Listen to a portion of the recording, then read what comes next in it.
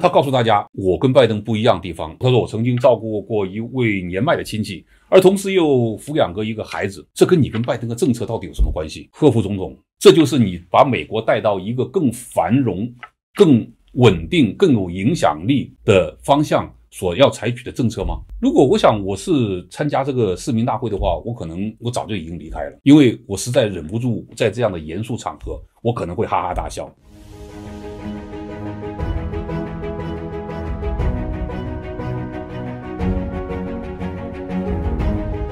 天高海阔，张修杰。各位朋友，大家好，欢迎大家来到修杰主持的《天高海阔》，我们一起来天高海阔讲新闻。讲新闻之前呢，还是要感谢大家这两天踊跃的加入会员。有位观众朋友问他是排第几，我帮你查一下，查到之后我再告诉你。感谢大家的支持。我们讲到二零二四美国总统大选，说川普的民调反超了贺锦丽，那么很多朋友都说。呃，千万不要太过乐观啊！是不是民主党的陷阱啊？我觉得呢，现在很多民主党人、左派媒体，为什么他们说川普反超贺锦丽呢？这关键在于贺锦丽个人的表现。为什么贺锦丽能够在好像看起来是贺锦丽一出天下归心的形势之下，变成现在处在一个劣势呢？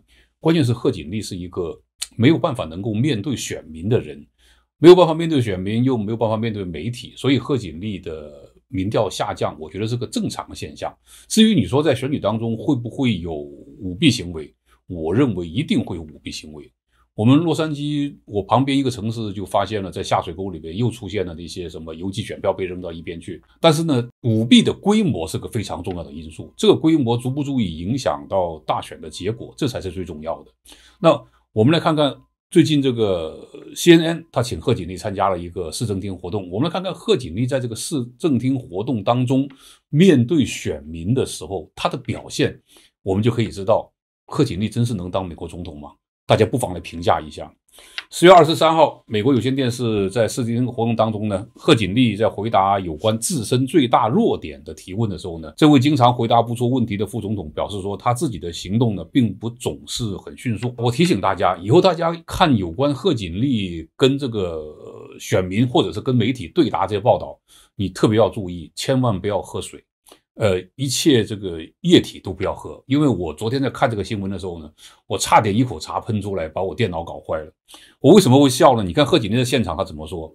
他对选民说：“他说有时候面对具体的政策问题，我可能不会立刻给出答案，因为我希望先对其进行深入的研究。”作为选民在选总统的时候，他问这个总统：“你未来准备怎么样把我们的生活改变？”我们的生活在哪些方面你可以得到改变？美国的经济、美国的治安问题、美国的教育问题等等，这些你怎么样让我们过得更好？贺锦丽说：“我还没想，所以你们问这问题呢，我答不出来。因为呢，你问这问题呢，我要认真想一下。大姐，你连想都没想，你怎么能当美国总统？所以贺锦丽在选民面前又展示出她最真实的一面。其实她从来什么都不想，他在整个从政的生涯当中都是靠别人在工作，他在拿光环。”因为他背后有力量支持他，所以他可以做到这一点。但是问题是，你现在选美国总统，世界上一个最强大的国家，世界上一个最有影响力的国家，让一个从来什么都不想，也想不出什么所以然的人来当美国总统。美国的选民有很多很多不同的政治色彩，也有很多在过去民主党执政当中获得自己的好处。但是，当贺锦丽这样一个人当总统的话，当美国越来越衰落的话，过去靠民主党给的好处而生活的这些选民，他们还能得到好处吗？所以这就是为什么现在连很多民主党的选民都不支持贺锦丽的原因。他说啊，在面试当中被问到某个问题的时候呢，总希望立刻给出准确的答案。但这就是我的工作方式。你在说什么？什么叫被问到某个问题的时候，总是希望给出准确答案？当一个人去应聘工作的时候，你的学历、你的工作经历、你对未来这份工作的想法，这是你必须要回答的问题。这就是我的工作方式。贺锦丽的意思是什么呢？他大概说就是我当时回答不出来，你让我回家想一下，我再问问隔壁老王，隔壁老王再告诉我怎么做呢？我才回来告诉你。那你觉得你这样能够应聘一下这份工吗？他这句话就把我笑死了。他说我有点书生气，请贺锦丽副总统不要侮辱书生，不要侮辱读书人。一个人。读书是为了什么？为了学习，为了吸取知识。如果你有足够的努力，如果你有足够的知识的话，你是不会回答不出问题的。可能有些问题你回答不出来，不是所有的问题你都回答不出来的。这就是贺锦丽在市政厅大会当中的表现。贺锦丽明确表示说，如果当选总统呢，他难免会犯错。他说：“我坚信美国人民需要一个勤奋工作的总统，但是这样的总统难免会犯错。”贺锦丽告诉你了，你选我当总统，我就会犯错。为什么呢？因为我勤奋工作。他说，关键在于你如何看待这些错误。我认为，对于这次选举呢，至关重要。你的意思是你一定会犯错，所以我们呢就必须要包容你的错误，所以我们必须要选你。我认为川普也会犯错，人非圣贤，孰能无过？任何一个政治人物，他都会有可能犯错误。但是作为美国总统，选民对他的要求是尽量尽量少犯错误。如何才能少犯错误呢？靠你自己的知识才学，靠你能够虚心的听旁边专业人士的意见，靠你做出准确的判断。那如果川普也会犯错，你也会犯错，那你告诉我，为什么我非选你不可？贺锦丽就是在这个问答当中，他没有办法说服选民，是他这是民调落后的一个最大的关键。贺锦丽在杂货价格和住房问题上与拜登持不同的观点。贺锦丽说，杂货价格依然居高不下，我们需要通过多种途径来解决。说得好，怎么解决呢？他说，我的部分背景以及我处理此事的方式，可能代表着一种新的路径。这种路径根植于我担任前司法部长的诸多经历。我要纠正贺副总统一下，你担任的是加州的司法部长，而不是联邦的司法部长。他说，在某些问题上，他与拜登总统保持距离。这个市民问的是你如何处理杂货，这个物价太高的问题。你说你有当前司法部部长的诸多经历，可以提供一种新路径。司法部长跟降低物价，你告诉我有什么关系？除非你打击奸商的时候会影响到某一个公司或者某一种产品的物价。但是我们现在面临的是某一种产品吗？我们现在面临的是美国整个国家在通货膨胀。整个国家的通货膨胀原因非常清楚，就是克副总统你和拜登的政策所导致的。而你告诉我们说，你当司法部长的经历让你能够解决物价有一个新的途径，这个途径是什么？用法律的手段把物价强行的压下去。美国有多少选民会相信这种方式？美国有多少的商家会接受这种方式？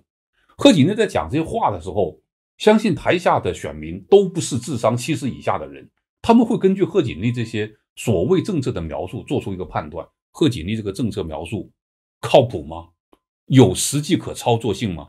这才是贺锦丽现在目前面对选举最要命的地方。他还强调说，他针对经济适用房的问题呢，提出了一种新的策略，在哪里？我看过贺锦丽很多政策的描述，他确实讲过他在任内要建三百万套经济适用房。我总是问：钱哪里来？地哪里来？今天美国还有多少的土地被政府能够拿来利用建经济适用房？如果有的话，建房的钱哪里来？如果没有土地的话，你要找私人土地拥有者购买土地的话，这笔钱哪里来？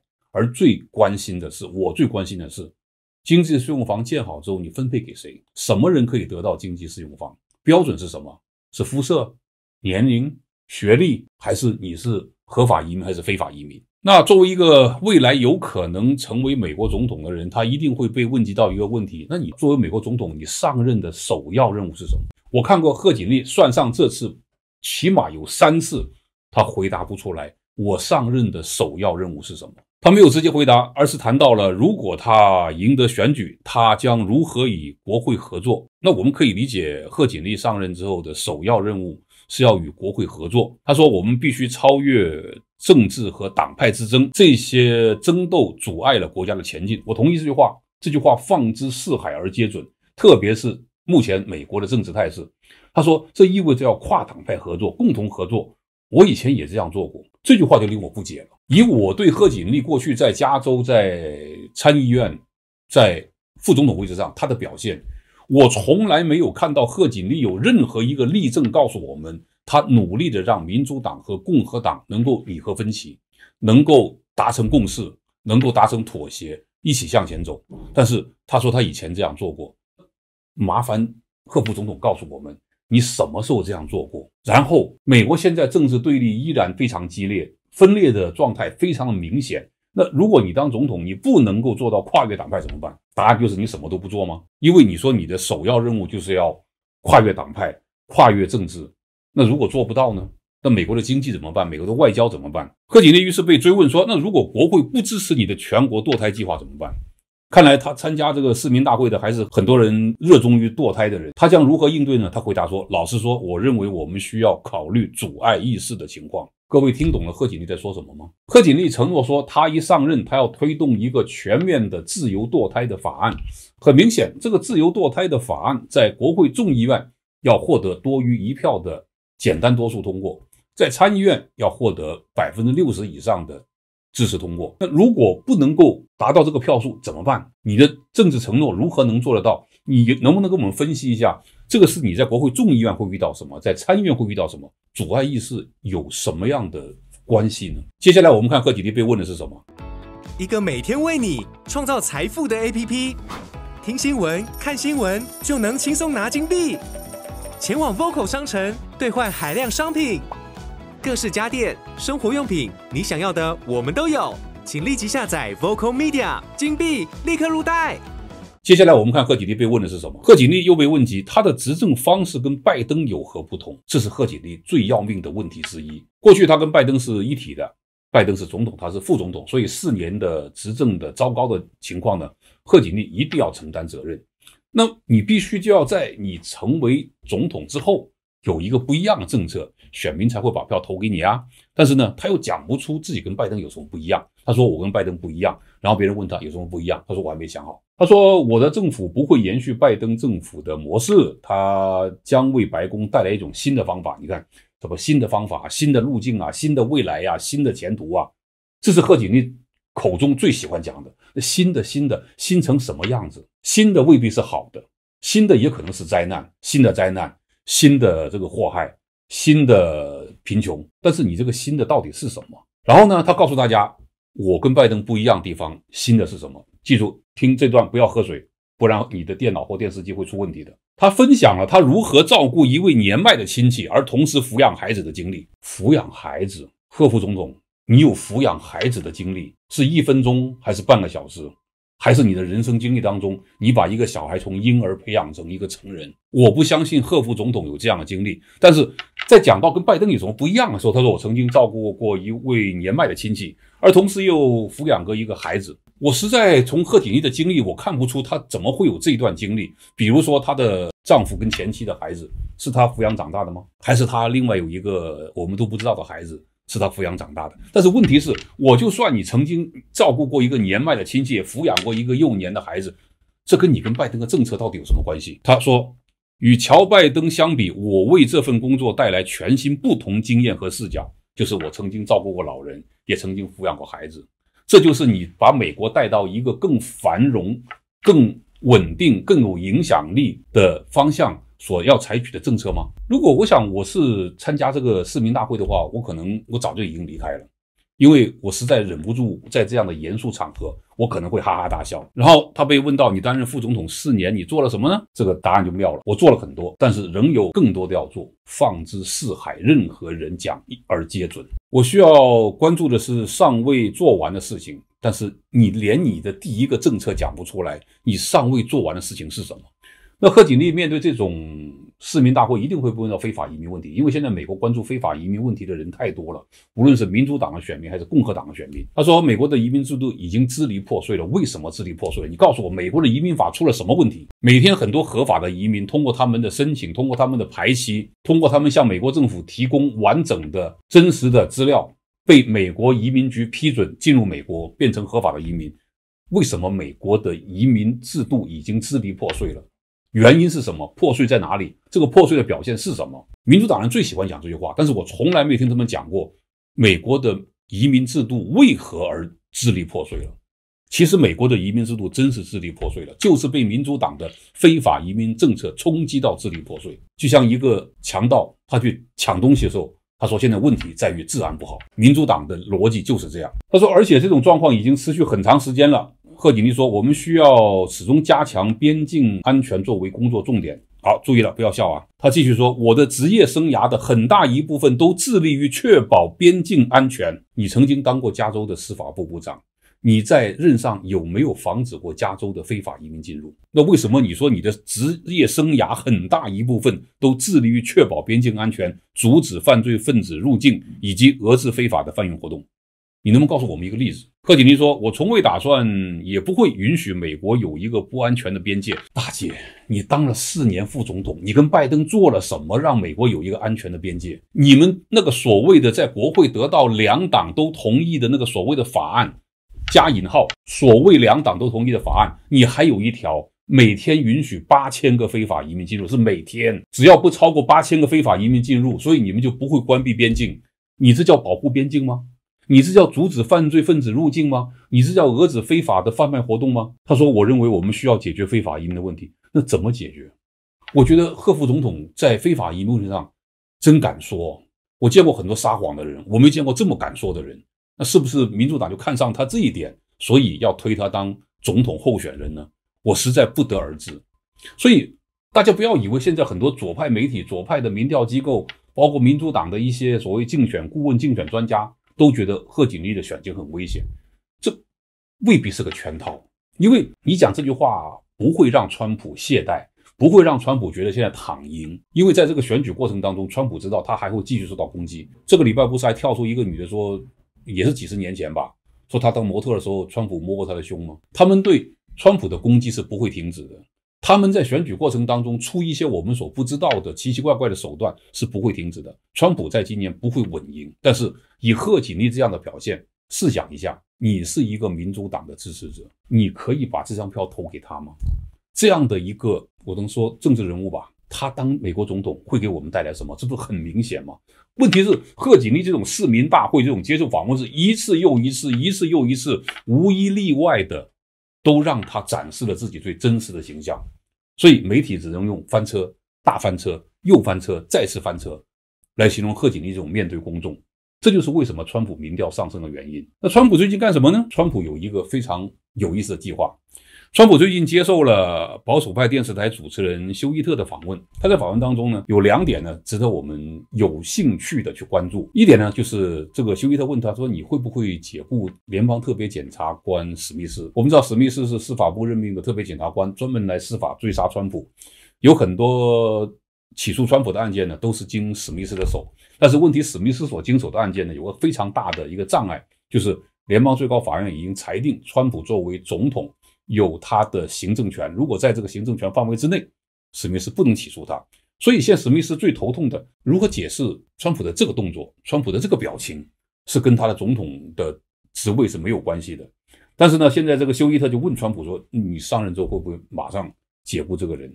你看，川普讲的非常清楚，他上任之后怎么做？川普绝不会像贺锦丽那样顾左右言他。